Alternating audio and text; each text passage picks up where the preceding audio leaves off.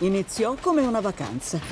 Desideroso di sfuggire a un fulgido futuro nelle grandi pianure, Arthur Howitzer Jr. trasformò una serie di rubriche di viaggi nel French Dispatch, un fattuale reportage settimanale sui temi di politica mondiale, le arti, nobili e meno, e varie storie su ciò che è di umano interesse. Non trovi che sia troppo squallido stavolta? No, non trovo. Per le persone per bene? L'intento era vivace. Radunò una squadra dei migliori giornalisti stranieri del tempo. Berensen, Sazerac, Kremens, Robeck Wright. Era questa la sua gente. Fallo sembrare come se tu l'avessi scritto così di proposito.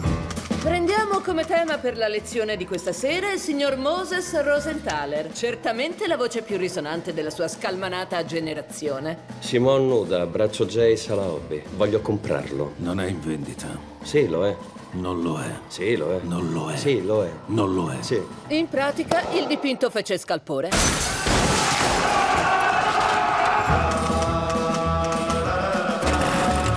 Sono stati i ragazzi. Hanno annientato mille anni di autorità repubblicana in meno di due settimane. Che cosa vogliono? Libertà. E basta.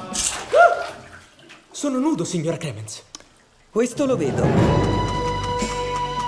Il tenente Nescaffier. È lui il supremo esempio dello stile gastronomico noto come cucina poliziesca. Gli aromi lanciarono un incantesimo destinato ad essere mortalmente infranto. Come ormai saprà, abbiamo rapito suo figlio. Ciao. Sta zitta.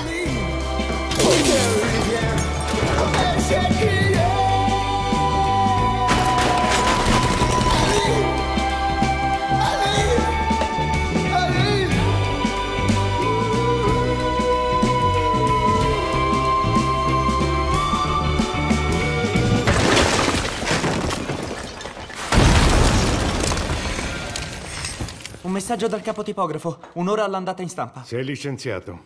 Sul serio? Non piangere nel mio ufficio.